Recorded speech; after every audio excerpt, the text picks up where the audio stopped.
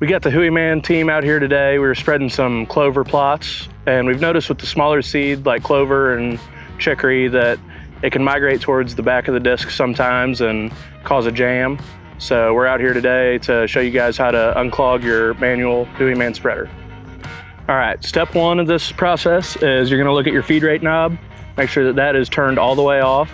And then step two is you lean forward a little bit and spin the disc at least three times to clear that completely out.